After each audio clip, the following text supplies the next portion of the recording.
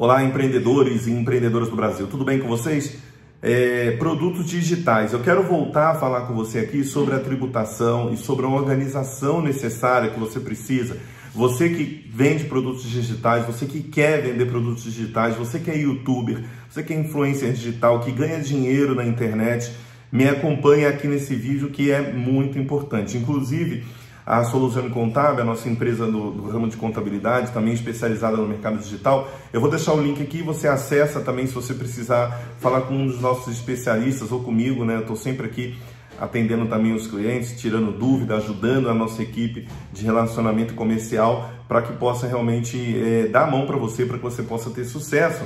E o link vai estar na descrição, tá bom? É só você acessar e nós vamos conversar. Bom, é, grande parte da, das pessoas que começam a empreender no mercado digital não tem ideia de como realmente funcionam as coisas. Então ele ouve uma pessoa falar que fala que é o especialista, o outro que também é especialista, mas no final da história a impressão que eu tenho é que quase ninguém sabe o que está falando, mas é, tem muitos, lógico, profissionais especializados nisso, pessoas que entendem do assunto e ajudam muito, mas tem muita gente falando besteira também. Bom, eu vou dar uma passada rápida aqui sobre a tributação do mercado digital, a tributação de infoprodutos, para que você possa entender é, claramente, tá? Claramente como funciona tudo isso, né? E se você tem uma empresa no mercado digital ou se você quer abrir uma empresa no mercado digital, você pode procurar que a nossa equipe vai cuidar de tudo para você. A gente tem um prazer muito grande de ajudar você, porque a gente sabe que essa organização é que pode fazer a diferença para que você possa ter sucesso. Ó, o tanto de café que eu estou tomando hoje aqui. Não gosto dessa canequinha aqui, que eu tomo bastante café ao mesmo tempo. Olha só, vamos lá. É, eu deixei algumas coisas anotadas aqui para não esquecer, né, e para a gente poder ter um bom diálogo sobre o tema. Então segura um pouquinho aí que você, se você quer aprender, né? Se você tem uma empresa ou pretende abrir ou pretende ganhar dinheiro na internet, você precisa é, investir um tempinho nesse vídeo que você vai sair daqui sabendo muita coisa. Mas para você que está é, chegando agora, se inscreva no canal, ative as notificações. Para que você, para você que já está aqui, já deixe seu joinha que para a gente é muito importante e compartilhe esse vídeo para mais produtores digitais para que eles possam entender profundamente do assunto, tá bom? Olha só, quando você vai começa a ganhar dinheiro na internet, você não precisa abrir uma empresa. Ah, tá aí, eu sou afiliado no Hotmart, eu sou afiliado na, na, na, na Amazon, nas Americanas, enfim, eu sou afiliada hoje na internet vendo produtos é, de terceiros, tá? Que, que acontece? Você pode atuar como pessoa física? Você pode atuar como pessoa física. Acontece que grande parte né, dessas plataformas entenderam a questão tributária, a complexidade da questão tributária quando se fala de um autônomo, de uma pessoa física, e restringiu o saque ali dentro do limite da isenção, ou seja, até aquele momento onde a pessoa não deveria pagar imposto e, e por isso ela também não deveria, teoricamente, fazer alguma retenção.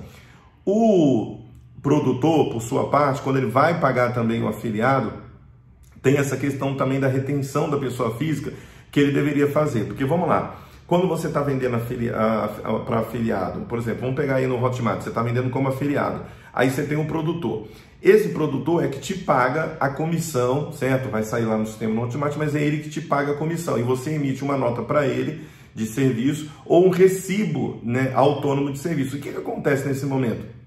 Ele, como produtor e como pessoa jurídica, ele é obrigado a fazer a sua retenção de imposto de renda e de INSS. Se você for pessoa jurídica, você não precisa ter essa retenção. Então, por isso, a maioria das pessoas que começam a atuar é, como infoprodutores ou como afiliados devem abrir uma pessoa jurídica. Por quê? Porque todo o meio vai funcionar dessa forma. Tá entendido? Até aqui tudo bem?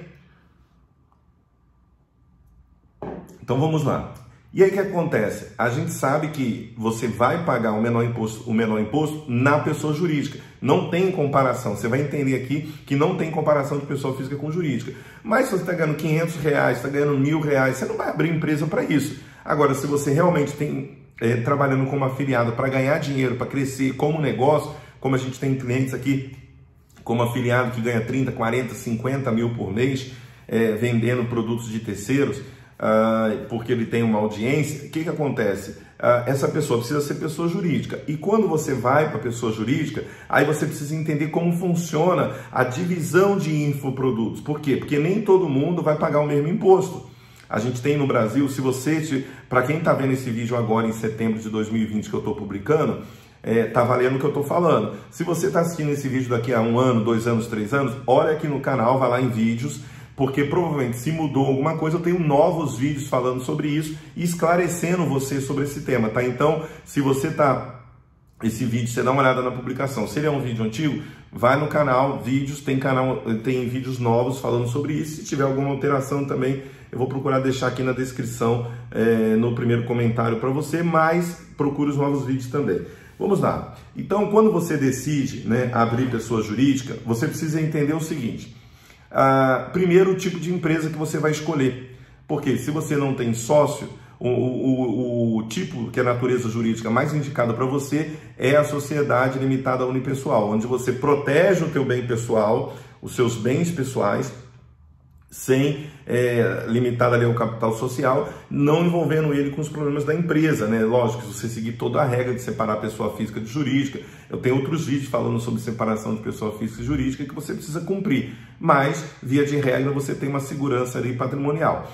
Você abrindo essa empresa, depois que você faz todo o processo de abertura de empresa, que também nós realizamos aqui para você, ah, você vai escolher o tipo de tributação. Hoje, tá? Agora, 2020, nós temos três tipos de tributações no Brasil. A gente tem o Simples Nacional, o lucro presumido, o lucro real. Geralmente, o lucro real é quando você está operando com a margem de lucratividade muito baixa ou você está obrigado a, a, atuar no lucro real quando você tem um faturamento acima de 78 milhões por ano. Aí você é obrigado já a ir direto no lucro real, ou então você pode, abaixo desse faturamento, você pode optar pelo lucro real se for mais vantajoso, lucro presumido ou simples nacional. Normalmente o mercado digital ele tem operado, até por questões de margens né, de lucratividade, tem operado ou no lucro presumido ou uh, no simples nacional. E aí como é que funciona? Como é que eu eu separo o imposto que eu pago? Bom, primeiro de tudo, você tem que entender o que você faz dentro do mercado digital. Então, por exemplo, eu vendo cursos online,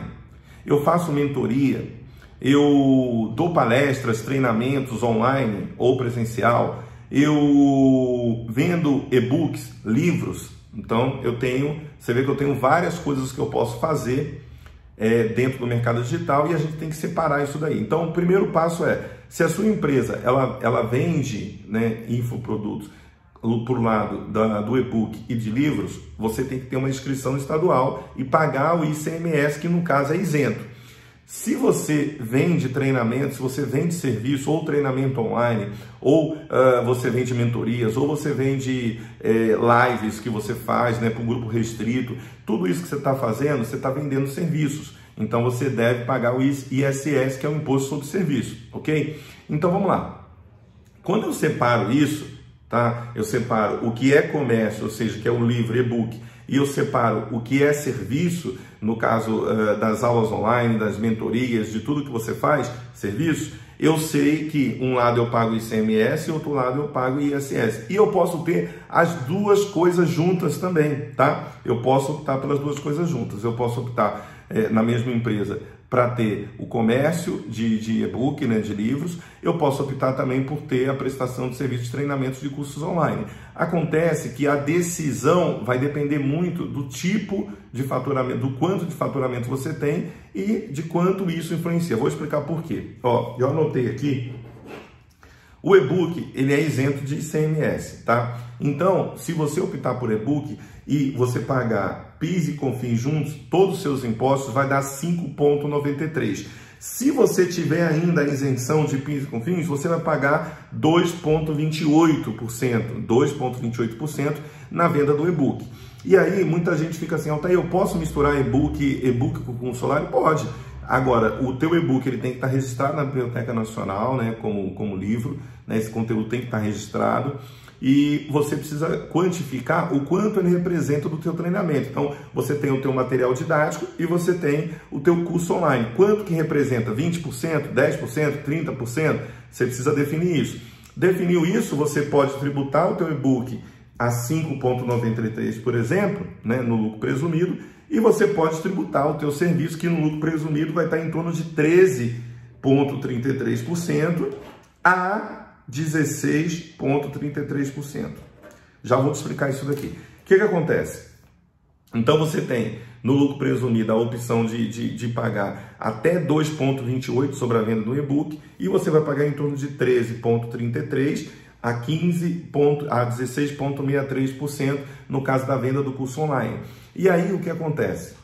É, quando você pega né, essa situação, por que tem essa variação de, de 13,33 para 16,33? Porque você tem essa questão do ISS que vai, vai variar de cidade para cidade de 2 a 5%. Por isso que você vem de, 30, de 13,33 a, a 16,33, que seria, num caso, 2% de ISS, no caso, 5% de ISS.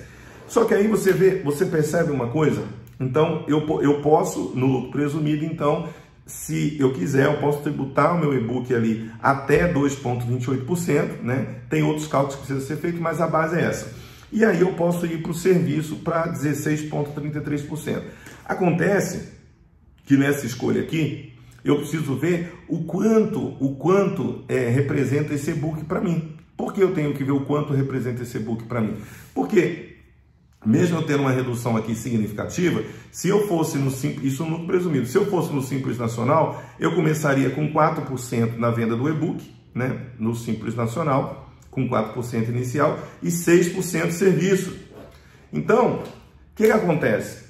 Vocês perceberam que para a venda do e-book o lucro presumido é muito vantajoso, já para o serviço não. Já para a venda dos treinamentos online seria melhor inicialmente o, o, o Simples Nacional tá? Por quê? Porque a alíquota também é pequena, né? E vai variando de acordo com o faturamento. Você começa com 6%, depois vai para 8%, depois vai para 10%. Até chegar a esse valor aqui, você já está faturando 300 mil por mês. Agora, como o mercado digital é, é, é, muito sazonal, a gente não tem como medir. Você pode fazer um lançamento, tem clientes nossos aqui que faz lançamento é, de 3 milhões, lançamento de 2 milhões lançamento de 500 mil. Então, assim, isso no mês. Aí você imagina o quanto, né? O quanto isso pode variar. Então, tem que haver um planejamento e uma organização de uma forma que você sabe, sabe que se você aumentar o teu faturamento, você vai conseguir reduzir a sua carga tributária, né? indo para o lucro presumido, olhando essa questão do e-book. Mas, Altair, eu posso colocar tudo como e-book? Não, você não pode colocar tudo como e-book até porque, se você parar para pensar, né, a maior oferta sua de venda não é o e-book, a maior oferta de venda sua é o curso online. Então é importante você entender que você pode sim reduzir a sua carga tributária, mas precisa de ter organização. Então, em resumo, você precisa no momento é abrir a empresa para se regularizar com as atividades corretas de tudo que você vai fazer, a gente classifica isso aqui para você depois, escolher uma, uma tributação com base no teu, na tua expectativa e se preparar para caso acontecer é, de sair muito fora daquela tua expectativa, tomar as ações necessárias. Agora, o que acontece? Tem muita gente vendendo facilidade, né? Tem muita gente achando que você pode fazer tudo de qualquer maneira que vai dar certo. Não é assim, né? Então precisa ser pensado, precisa ser organizado para que você possa ter sucesso. Você que é youtuber, você que é influencer digital, é, você que ganha dinheiro do exterior, do Google AdSense, tudo isso precisa ser organizado. Tem muita gente perdendo dinheiro. Tem gente recebendo um AdSense hoje 50, 60, 70 mil por mês na pessoa física. Imagina, a pessoa está pagando 27,5%, poderia estar tá pagando 10%, por exemplo, de imposto né, com a isenção de PIS e CONFINS, poderia estar pagando aí é, mais ou menos é, em torno aí de 10 a 12% comparado, né, dependendo do faturamento, comparado a 27,5%. Então precisa ser avaliado, estudado, acompanhado por um especialista, tá bom? É, nós vamos voltar a falar mais sobre isso, mas o que você precisa entender é que não tem o certo, nem o simples, nem o lucro presumido, nem o lucro real sem fazer conta. Qualquer uma pessoa que te falar a melhor tributação para você sem fazer conta, impossível. E outra coisa, as tributações elas vão variando de acordo com a tua atividade. Você ganha de AdSense do Google? Uma coisa. Você vende curso online? Outra coisa. Você vende e-book? Outra coisa. Você vende treinamentos presenciais, palestras? Vamos avaliar que é uma outra situação. Então não tem uma situação definida porque você é do mercado digital. Vai variar de acordo com a sua atuação, tá bom? Deixa o like aí, compartilha esse vídeo. Nós temos um canal exclusivo para falar sobre isso, que é da Soluziano Contábil. Então, visita o nosso canal Soluziano Contábil aqui no YouTube. Eu vou deixar também o link na descrição para que você possa é, visitar o nosso canal e aprender tudo sobre o mercado digital para você que atua no mercado digital ou pretende atuar, tá bom? Tamo junto sempre, fica com Deus e até nosso próximo encontro.